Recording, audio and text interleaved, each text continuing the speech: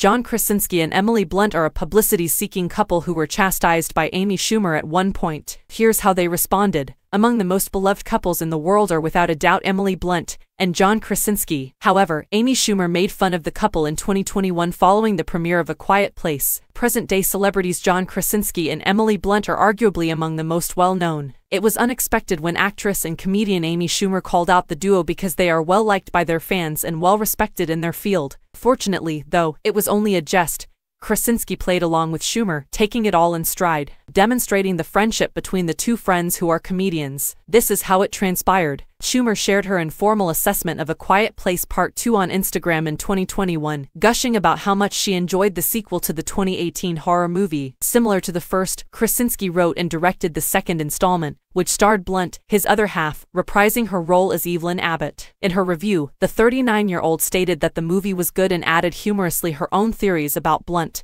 and Krasinski's marriage conspiracy. I loved every second of it A Place movie even better than the first one which blew me away, she wrote on Instagram. Fantastic to be in a theater for a film. And although I've said for a long time I think Emily and John have a pretend marriage for publicity, joked the naturally funny comedian. Nevertheless, I believe you ought to see it this wet weekend. Not to be outdone, the sharp-witted Krasinski left a remark under the post that said, Thank you Amy, for completely ruining our marriage.